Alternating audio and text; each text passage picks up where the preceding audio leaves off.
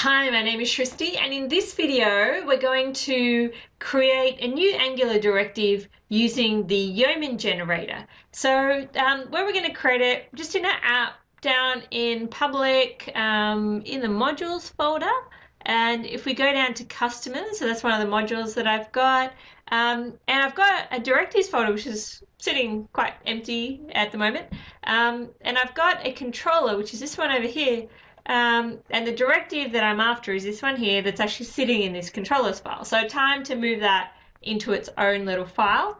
Um, so to create our directive, we'll just, so I've got PowerShell over here, just change directories into the directory where our app is sitting. So CD and then the directory for the app. Um, and here we're just going to type in uh, yo, because we're going to use a Yeoman generator, mean.js, and just a colon, angular, and then this time we're just going to put in directive.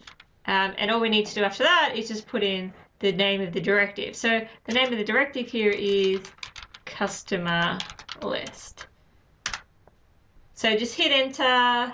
Again, Yeoman comes back and it says, which module do you want to use? Well, that should be the module um, that's sort of that high level folder for where you want the directive file to sit. So just use your arrow key, select the module that you want, and um, the Yeoman generator would go ahead and create a new file um, in there for you. So um, now I can go across to directives and I've got a new, lovely new um, directive that's sitting over here. So I can go across to my controller, grab the directive. So this um, this file's now nice and clean. Come over here, just put that in there to sit for a bit.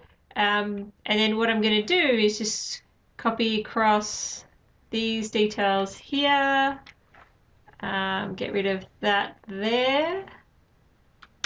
And just paste in um, the, the dependencies and the services that I want to pass in to, um, to my directive. And I just need to copy uh, this bit here and paste it over here. All right, there you go. So now we've um, got a separate file for our directive. Um, should make um, the process for maintaining this file um, nice and easy. Um, I hope that helped you. Um, please subscribe to the channel if you haven't already. Uh, check out bossable.com for more details, and I'll see you again soon.